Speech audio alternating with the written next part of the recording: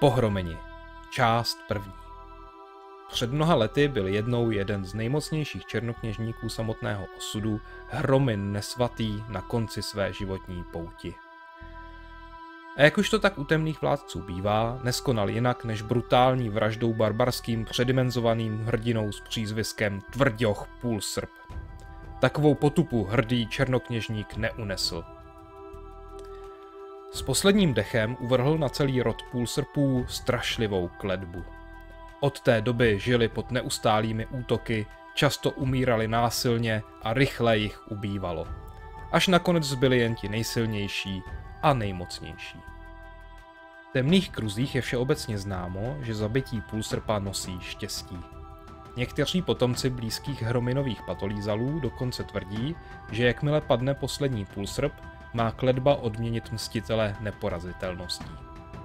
Proto někteří půlsrpy přímo aktivně vyhledávají a zabíjejí. Jedním z nich je i Lek Kol, bývalý ještěří vůdce bandy vrahů a zlodějů a potomek Hrominovi podložky pod nohy. Ten je legendou natolik posedlý, že svou bandu pojmenoval Pohromeni, na jeho počest. A pro štěstí samozřejmě. Banda je celkem velká, ale hlavně je rozptýlená všude po světě. Myslím, že to byla středa, kdy Lekt Kol koupil důležitou informaci a nechal si svolat nejschopnější ze své bandy.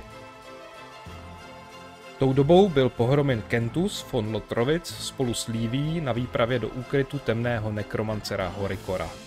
Zjistil totiž, že Alfons Pulsrp Vážený hrdina a svůdník o nekromancerovi ví a chystá se na něj. Kentus dobře věděl, že Horikor je paranoidní blázen a nepůjde s ním rozumně spolupracovat. A tak se rozhodl spojit s Líví obětavou, které byl Horikor trnem v oku. Společně zkusili vytvořit ďábelský plán. Jejich snaha se však proměnila v hádku, jak už to tak bývá, a hádka nakonec volně přešla v soupeření o to, kdo Alfonze dostane. Lívie se vplížila do podzemí, přesunula do cesty některé pasti a udělala ze sebe návnadu. Panu na zachránění. Pro zvýšení naléhavosti se natáhla na mučidla a ukradla jednoho nemrtvého, který je měl v příhodný okamžik používat. Vybavila se také otrávenou jehlicí do vlasů. Když to Kentus viděl, rozhodl se jí předběhnout a dostat Alfonze dřív, než vstoupí do podzemí. Nakoupil v městském nevěstinci všechny lehké ženy, ty vypustil do lesa přilehlého nekromancerově hrobce. Rozkázal jim svést a políbit jakéhokoliv muže, co kolem projde. U alchymisty si nechal vyrobit omračující substanci, kterou potřel děvám pisky, horní i dolní. Zakázal jim si olizovat pisky, horní i dolní, aby jed nepůsobil na ně. Kentus se následně po vypuštění armády děvek proměnil do jeho nehmotné podoby a v tichosti plul nad hvozdem a čekal. Netrvalo dlouho a na obzoru se vynořil spanilý barbar Alfons Pulsrp i se svojí tlupou barbarských hrdinů. Tamdle, ozvalo se spod zlatých kadeří vlajících záři zapadajícího slunce. Následoval řev a dusot svalnatých mužských těl řítících se k lesu, za kterým byl vchod do nekromancerovy jeskyně. Když se přiblížili k lesu, zaslechli něžné ženské chichotání. Tlupa se podívala na Alfonza. Alfons se podíval na les. Děvky začaly vykukovat spoza stromu. Když je Alfons zahlédl, jeho nadšení rychle povadlo. Ty vole, zase víly. To už je tenhle týden po třetí. A tyhle jsou navíc nějaký hnusný. Tyhle jsou vaše. Pronesl znuděně a pokynul ostatní. Ti s jásotem vyrazili do hvozdu, ze kterého začaly vylétávat kožené roušky. Ještě bych zase něco chytil. Dodal Alfons pro sebe, hodil na rameno svůj obouručák, lesem během pár sekund proběhl a vstoupil do jeskyně, ze které během dalších pár sekund začaly vylétávat nasekané a namleté kosti. Tohle Kentus vážně nečekal. Notnou chvíli mu trvalo, než se probral z překvapení a dokázal zavřít do kořán otevřenou tlamu. Alfons asi nebude takový máslo, pomyslel si. Naštěstí děvky mezi tím spacifikovali celou jeho družinu, i s koňmi, osly a prasaty, a tak se Kentus mohl vydat do jeskyně za Alfonzem. Dohnal ho právě, když cupoval na kousky kostlivce, který mučil Lívii. Tak, řekl Alfons, když jednou rukou rozdrtil lepku kostlivého kata, otřel si rty a naklonil se, aby políbil Lívii. Kentus se na něj už už chtěl vrhnout s kapesníčkem namočeným do uspávací směsi chlorie půlnoční a formínu pomdlého, když si všiml, jak mu Livie naznačuje, že to zvládne. Alfons totiž svým chováním hrál Livii přímo do karet. Stačí pár slin, vlasů a pár kapek krve a budeš v mojí moci, pomyslela si vítězně. V ten moment Alfons zbystřil a rychle se otočil dozadu. Mám pocit, jako by mě někdo sledoval, Zamumlal pro sebe, když hleděl skrz Kentuse, který se na poslední chvíli zneviditelnil. Po chvilce koukání do prázdné chodby se ale uklidnil a již mu nic nebránilo hluboce políbit Lívii, která se k němu žhavě přisála. Když začal ztrácet dech, soudil, že má dost a hrubě přetrhal Lívii na pouta tak, aby se mu svalila přímo do náruče. Opatrně ji postavil na chladnou podlahu.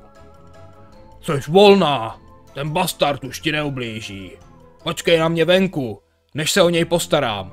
A já ti pak ukážu, zač je toho barbar.